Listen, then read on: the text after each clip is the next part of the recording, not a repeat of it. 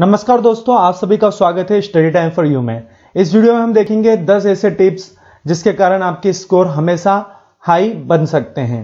ठीक है? तो सबसे पहले हम देखते हैं, अगर हमने फिक्स टाइम पे हमेशा पढ़ाई की है तो हमारे स्कोर ऑटोमेटिकली इंक्रीज होते हैं। आप में से कई लोगों ने ये एक्सपीरियंस कर रखा होगा, ठीक है? जो कि मतलब पढ़ते नहीं है रोज उनके ऑटोमेटिकली वो कितने भी समझदार हो, लेकिन अपने आप उनके मार्क्स कम हो जाते हैं, ठीक है? और ये फिक्स टाइम कैसा होना चाहिए? ये फिक्स टाइम आपने मान लिया कि दो घंटे आपको रोज पढ़ना है, ठीक है? आपने एक टाइम भी बना लिया कि सुबह छह से आठ पढ़ रहे हैं आप तो इसमें आपको कोई अदर काम नहीं करना है। आपको जो पढ़ाई करनी है, बस सिर्फ़ उसी पे ध्यान देना है, ठीक है? तो इससे क्या होगा? उस पूरे टू आवर्स का आपको आउटपुट बहुत अच्छा मिल पाएगा। और वो अगर आप रोज करते रहेंगे तब तो वो दो घंटे आपको बहुत ही ज़्यादा यूजफुल होंगे। ठीक है?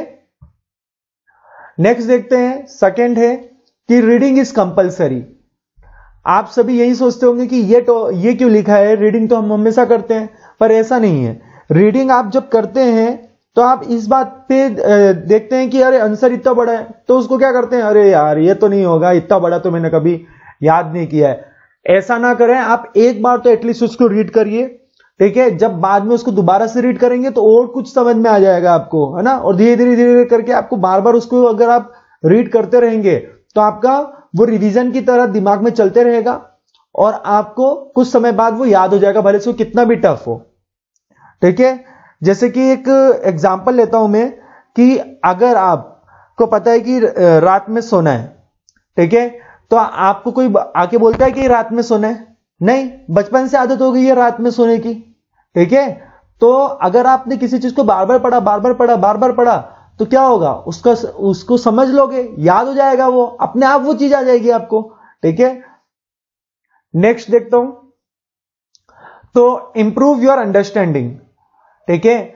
बचपन से हमें हमारे साथ क्या होता है आ, क्लास में स्ट्रेंथ बहुत ज़्यादा होती है हम कोई डाउट पूछते हैं तो टीचर के पास उतना टाइम नहीं होता डांट भी देता है हमको कि इतनी फालतू की चीज़ें बताने के लिए मेरे पास टाइम नहीं है। तो अब आप बड़े हो गए हो, लेकिन अभी भी आपको बहुत सारी चीज़ों में डाउट्स आते हैं। तो अब आप अगर नहीं पूछोगे सामने वाले से जो भी आपको पढ़ा रहा है तो आपको आगे आगे क्या करोगे? आगे कोई नहीं बताने वाला है। ठीक है अब अगर आप बड़े हो गए हो तो आगे कौन बताएगा आपको? कोई नहीं बताएगा। सब ये बोलेंगे कि भाई, बड़ी सी पढ़ाई कर ली और उसके बाद कुछ भी नहीं हुआ इसका। ठीक है क्योंकि आपने चीज़ों को समझा नहीं। ठीक है सामने ने जितना पढ़ाया, पढ़ लिया। और छोड़ दिया। उससे कभी भी क्वेश्चन नहीं पूछा कि ये चीज़ कैसे हुई, ये चीज़ मुझे समझ में नहीं आ रही है।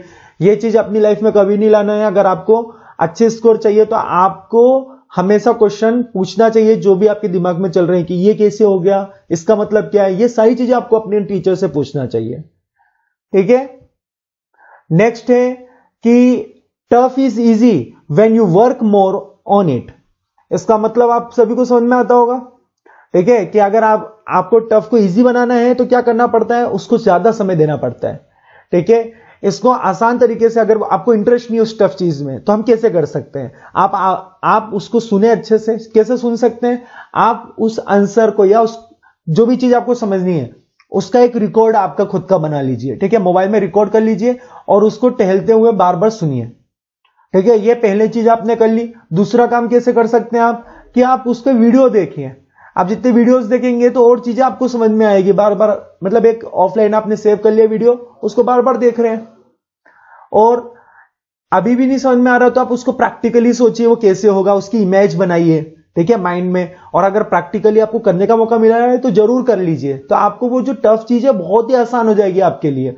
और जितना ज़्यादा समय किसी टफ चीज़ को दिया जाता है, वो धीरे धीरे आसान लगने जाती है। और बाद में ऐसा नहीं कि हमेशा उसको ज़्यादा समय देना पड़ता है। नहीं बाद में जो एक घंटे का काम था, वो पाँच मिनट में आपको आ जाएगा।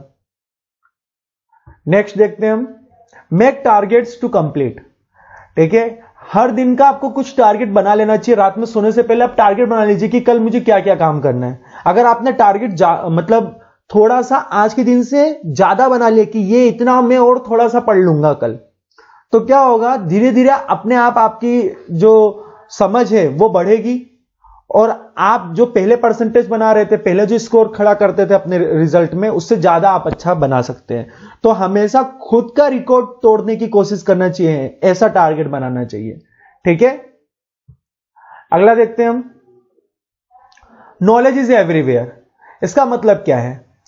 Knowledge is important then degree मैंने यहाँ पे जो एनालिसिस किया है कि अगर एक बच्चे को हम ये बता देते हैं कि क्यूबॉइड शेप क्या है ठीक है सारे शेप अच्छे से समझा देते हैं और उसको आ, समझ में आ जाता है तो अगर कभी फैमिली में ऐसी प्रॉब्लम होती है कि रिक्शा में कुछ सामान लेके भेजवाना है बहुत सारा सामान उसमें रखना है तो बच्चा एक कॉपी पेन में ला के पूरा शेप साइज़ को मेजर करके बता सकता है कि सामान आ सकता है कि नहीं आ सकता।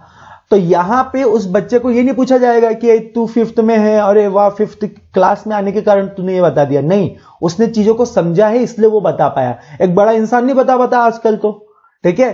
फिफ्थ सिक्स सेवंथ एट्थ के बच्चे बता देंगे अगर उनको ये चीज़ आती है।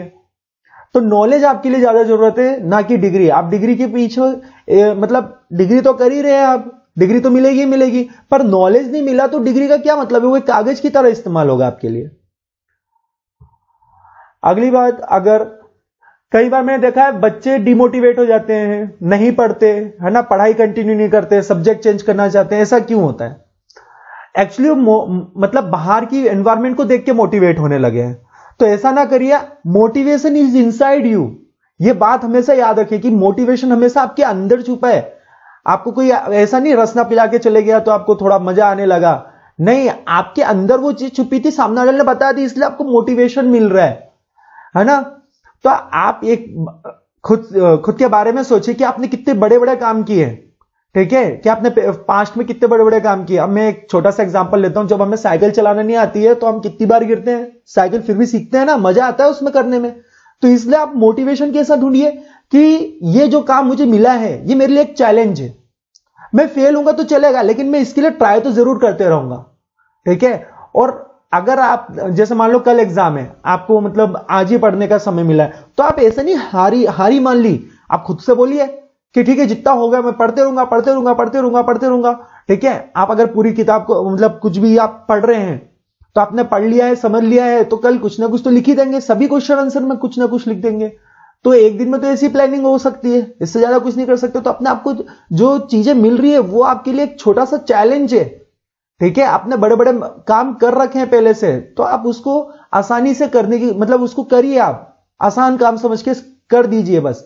है ना, खुद पे भरोसा रखिए। इतना ज़्यादा मोटिवेशन की आपको बाहर से ज़रूरत नहीं मोटिवेशन आपके अंदर ही है।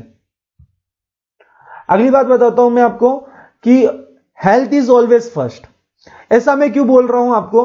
देखो, जितने भी अभी मतलब ये वीडियो देख रहे होंगे जो बहुत ही अच्छा पढ़ने वाले होंगे, उनको पता है कि इसका मतलब क्या मैं बोलना चाहता हूँ।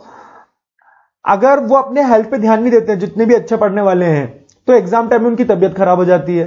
या बीच में कभी उनकी तबियत खराब हो जाती है कोई एक्सीडेंट हो जाता है, और उसमें वो डिप्रेशन में चले जाते हैं। तो ऐसा हो जाता है, बहुत सारे बच्चों से हो जाता है। नाइन्टी फाइव परसेंट में ये बता दूँ, बच्चे जितने भी होशियार रहते हैं नाइन्टी फाइव परसेंट में उनके साथ हेल्थ प्रॉब्लम होने के कारण वो फ्यूचर में कोई भी बड़ी चीज़ को अचीव करने में रुक जाते हैं। तो आपको कोशिश करना चाहिए कि अपनी हेल्थ पे ज़्यादा ध्यान दे। आप मेंटल और फ़िज़िकल हेल्थ दोनों पे अगर ध्यान देंगे तो आसानी से जो भी मैंने ये टिप्स दिए हैं, वो आसानी से फॉलो कर पाएँगे आप। नेक्स्ट है प्रिपेयर योर नोट्स ठीक है? और वो भी अच्छे से बनाना। कभी भी ऐसा मत सोचना कि ये नोट्स बना लिया, बाद में देख लूँगा एग्ज़ाम आएगी तो। अरे एग्ज़ाम आएगी तो देख लेगा अब भी देख के बता तेरा नोट्स कितना अच्छा है। एग्ज़ाम में ये सोचेगा कितना खराब लिखा है, ठीक है? और दूसरे का नोट्स लेते हैं ना हम एग्ज़ाम के टाइम में तो देखना उसके आधे नोट्स तो हम पढ़ ही नहीं पाते समझ में ही नहीं आते क्या लिखा है उसने क्या समझाना चाहता है। तो नोट्स आप बनाते समय कोशिश करिए कि पेंसिल से अपने ओन लैंग्वेज में उसको समझने का तरीका भी लिख लीजिए कि आपने उसको कैसे समझा था ठीक है? या एक आ, मतलब नोट डाल दीजिए कि इस तरह से मैंने समझा इस कॉन्सेप्ट को। तो ज़्यादा आसान रहेगा जब दोबारा से पढ़ोगे। क्यों? क्योंकि एक बार नोट्स बना दिया है तो अब बार बार वो चीज़ को सोचोगे क्या? ये नोट्स मैंने ऐसा क्यों लिखा? नहीं, सोचो मत, आप उस चीज़ को लिख दो कि अभी आपको यह आया कैसे, अपने ओन लैंग्वेज में। आपकी ओन लैंग्वेज आपको इजी बना देती है उस टॉपिक को पढ़ने में। अगला देखते हैं जो हाई स्कोर जितने भी अचीवर्स है, वो कभी भी अपने आप को कंपेयर नहीं करते, अपने आप को इंप्रूव करने पे ध्यान देते हैं। ठीक है? तो don't compare yourself with others अगर आपको भी हाई स्कोर चाहिए कि आपके मार्क्स अच्छे आने चाहिए, ठीक है? तो उसके लिए आप खुद पे हार्ड वर्क करिए, ठीक है? ज़्यादा से ज़्यादा काम करने की कोशिश करिए और हमेशा पॉजिटिव रहिए। ठीक है? हर सिचुएशन में आपके मार्क्स कम भी आ रहे हैं ना तो नहीं, अगली बार आने दो, अगली बार इस मतलब एग्ज़ाम को मैं और अच्छे से करूँगा। ऐसा क्यों है कि मतलब अरे मेरे से तो होता नहीं है? ये कौन सी बात हुई?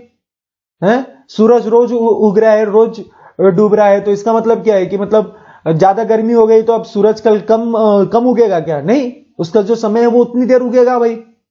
ठीक है? तो आपको इतना मोटिवेट मतलब खुद पे पावर रखिए। सब कुछ आसान है दुनिया में करना। ठीक है?